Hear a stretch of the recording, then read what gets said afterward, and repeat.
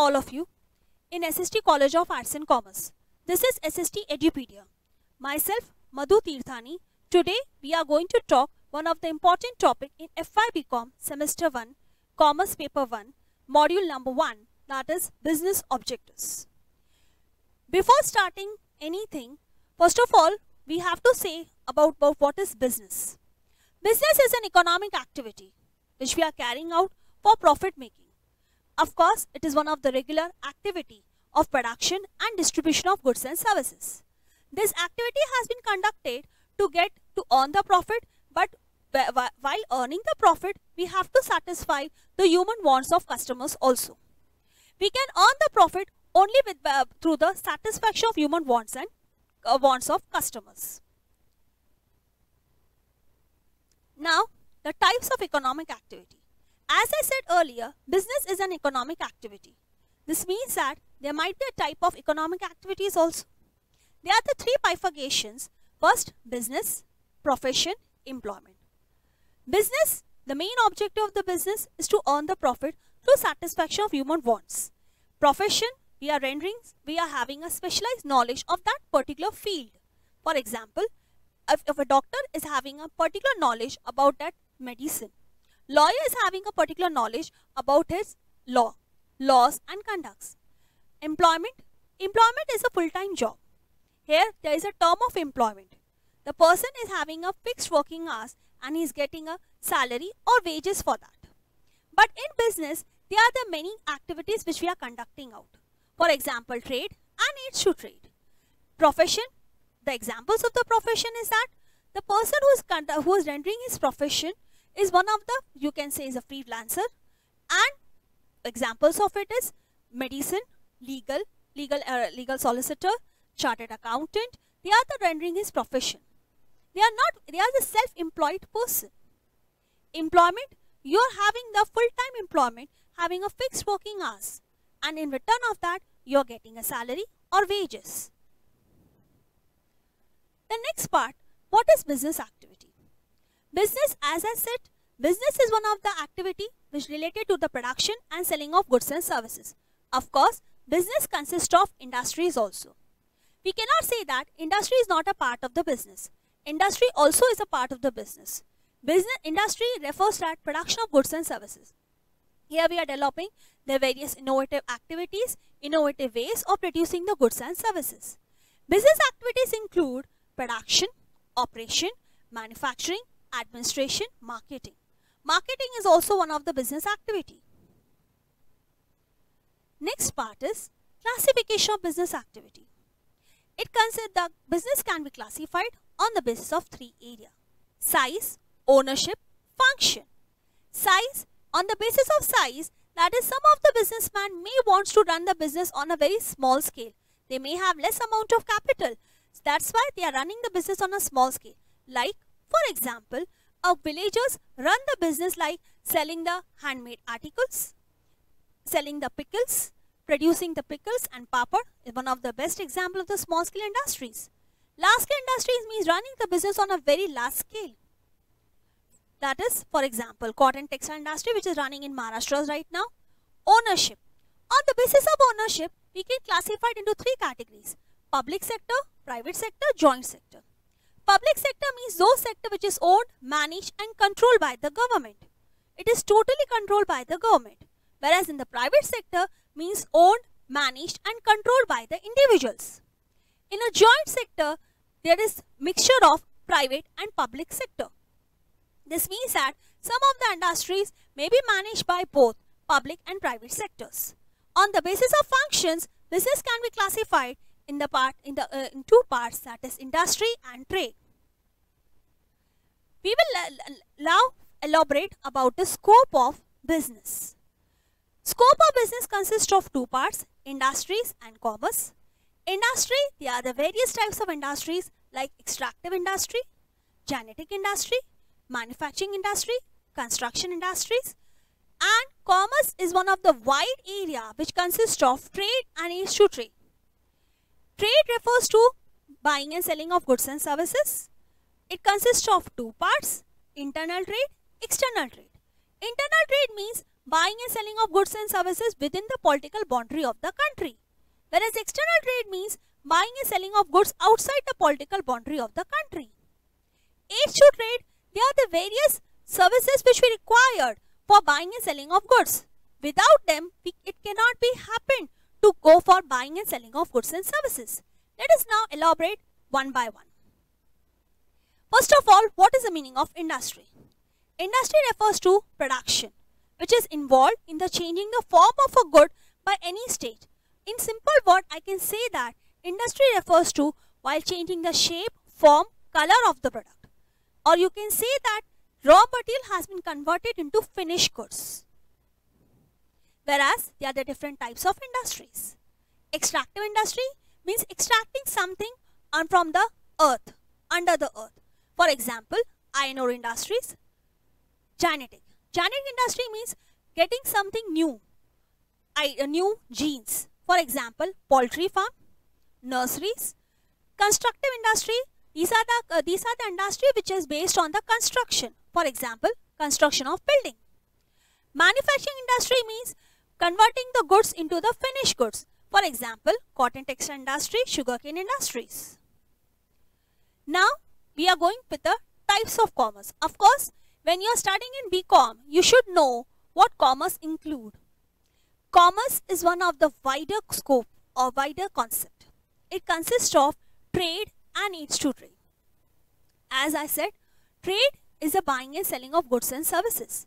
Whereas aids to trade refers to those helper helping you can say it is nothing but an ancillary towards the trade without which the trading activities cannot be possible or I can say that without issue trade economy cannot be able to run. We will see first types of trade. Home trade means buying and selling of goods and services within the political boundary of the country. Whereas foreign trade means buying and selling of the goods and services outside the political boundary of the country. In that internal trade itself or you can say in the home trade itself it consists of wholesale trade. Here we are purchasing the goods directly from the producer in a, in a very lump sum manner in a very huge quantity and selling it to the retailer in a very small lot. Retailer refers to purchasing the goods directly from the wholesaler and then selling it to the consumer in a small lot. Now, aids to trade. There are the various aids to trade. Apart from these four I can see. But first of all, we will consider these four first. Transportation. Transportation creates the place utility. With the help of transportation, we can transport the goods from one place to another. Since you can say that it helps us to provide the right quantity of the goods at the right place. That's why it is said that it is one of the creating the place utility. Warehousing. Warehousing store go. Warehousing stores the goods, uh, goods in the go down. Because in other words, warehousing we say is a storage house. Warehousing creates the time utility. There is a time gap between production and consumption. So whatever goods the producer produces, the wholesaler stores that good in the warehouse. And whenever the retailer required it, it help with the help of transportation, it transport those goods from the warehouse to the retail shops. Insurance. Insurance covers the risk of the business. Insurance helps the businessman to bear the risk. Whenever there is a loss, insurance try to cover those loss. Advertisement. Advertisement helps to market the goods. Advertisement gives the information to the consumers regarding the various goods which has been launched by the different companies. What type of goods they have launched. They gives the information regarding the usage of the product also. Now, the main part of business. Objectives of business. See, whatever activities we are doing it, of course we have certain objectives or certain targets also. Objectives is are those business objectives which we want to achieve within a specified period of time. कहा जाता है, अगर आपने objective रखा हुआ है तो आपको उसे अचीव करना है within that specified time it's very important सोच कर रखा है बट अचीव नहीं कर पाए तो that is nothing nothing can be called as an objective business objective is a purpose और the reason for why the business is carried out तुम why we are carrying out the business is nothing but we have certain goals we have certain objective of course our main objective might be to earn the profit but we, we want to earn the profit through satisfaction of human wants, through the quality of the services we are, which we are giving to the customers. We want to get the satisfaction of human wants, quality of the good services to the customers. We want to protect the environment. Then, definition of business objective. Objectives are the goals, aims, purpose that organization wish to achieve over the varying period of time. Of course, we want to achieve, for example, a student studying in 12th standard want to achieve a good results in 12th standard, but he has to achieve in that particular year itself. After two years, the objective which he has achieved cannot be called as an objective. Of course, whenever we are setting an objective, we have to uh, we have to achieve those objectives within a specified period of time. Then only it can be called as an objective that we have achieved. Objectives can be analyzed in the word SMART. The S stands for specific objective. The objective should be very much specific. What the business does. For example, if a, there is a hotel might an objective of filling 60% of its bed at a night. This is an objective, measurable. The objective which you want to achieve should be measured. It should be measured how much you have achieved in the particular period of time. Agreed. It should be agreed. That is all those concern in trying to achieve those objectives. You alone cannot achieve. It is a group activity. Realistic. The objective should be real. It should not be the fictitious which cannot be possible. Time specific. Of course, there should be a time limit. The objective should be measurable. It should be achieved within that specified period of time. That is why it is called as a smart activity. Types of business activities. First one, organic objective. Of course, every businessman wants to survive in the market. First of all, survival is very important. As soon as your business started, you cannot achieve the you cannot achieve the profit. You have to survive in the market. Since it is a very competitive world, you have to improve your quality of product. You have to improve your quality of customer services also. Then only you can survive. Once you will survive, you can try to achieve the growth and then development. Economic objective is also there. Of course, we are doing the business activities since we want to earn the profit. It is a profit-oriented activity. Creation of wealth is one of the important tasks of us. Social objective. Apart from economic objective, we have certain responsibilities which we have to fulfill towards the society. Human objective. Apart from the economic or social objective, we have certain human objectives also. We should understand the psychological feeling of the human being and accordingly we have to do all those activities. National objective, of course, businessman has certain national objectives also towards the nation. He has to fulfill that objective. For example, creation of employment opportunities so that the unemployment problems can be solved. Global objective. Whatever the businessman is doing right now at the local or the regional level, he has to go in the international level also to do the business for earning the foreign currency for the country. Let us elaborate one by one. Organic objective. Every businessman is with the hope that he should be survive. That a business should exist in an exist. Whenever we start a business, we always have a fear whether that business should be survive, whether that business will survive or not. For that, first of all, the business should exist in the market, should survive in the market. He should try to succeed in surviving the business. Then only once he has survived in the market, then he can go for the growth of the business. Then only he can earn the profit in the business. First, he has to create the market. He has to create the customers for himself. That is only the survival of the business. Once he have created the customers, once the, he has formed a loyalty towards the customer, then only he can achieve the growth and development also. Second one is economic objective. Of course, whenever the businessman is running a business, he has certain uh, motive of economic also. He wants to earn the profit. But for earning the profit, he has to give the quality services to the customers regular innovation should be there since the customers are monotonous. They doesn't like the same thing every day. They require new quality, new quantity, so new quality, new designs of their product. And he has to see to it that innovation which he is carrying out, the new product which he is introducing it, it should be done with the minimum utilization of resources. There should be no wastage of resources at all. Next is social objective. Apart from economic objective, businessman has certain social responsibilities also towards society. Try to provide them the quality goods to the service to the customers. Try to utilize the resources in a best possible manner.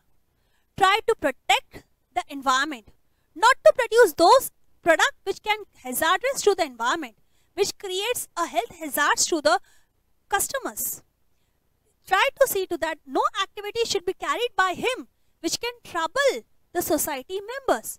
The activities which he are conducting should be acceptable by the society. Next is human objective. Human objectives refers to the objectives as a well-being, as a fulfillment or the expectation of the employees.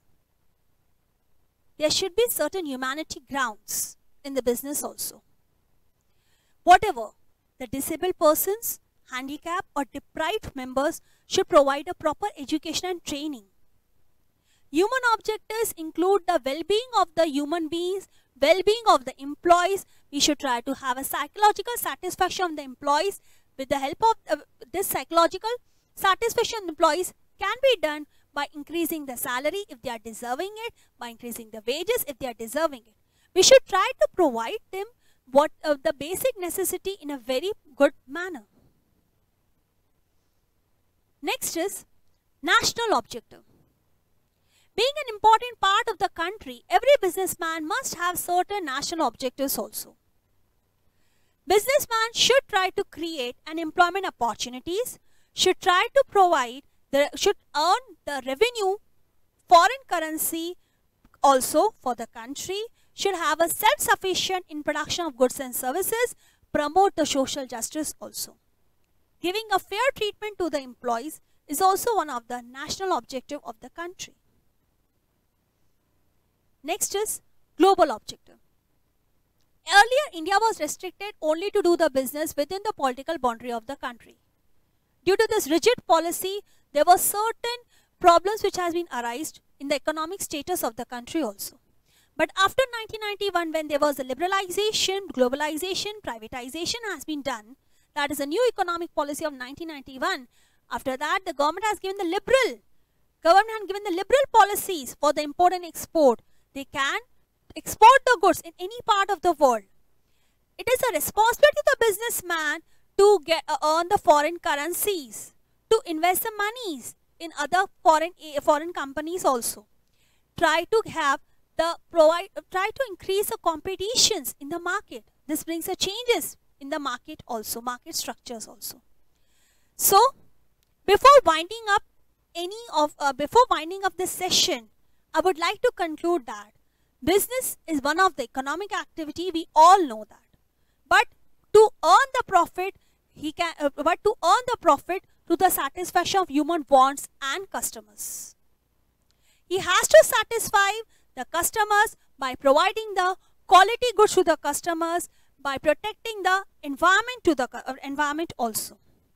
There are certain objectives which we have seen it organic objective which means that survival of the business, economic objective that is to earn the profit through satisfaction of human wants, social objective that is there is a certain social responsibilities of the businessman towards the society which he has to fulfill National objective being a part of the citizen, being a part of the country, he has to uh, he has certain national objectives towards the society which he has to accomplish it. Global objective try to increase the competition in the international level, try to uh, transport, export the goods in the international level also. So, thank you for listening me very patiently. Thank you very much.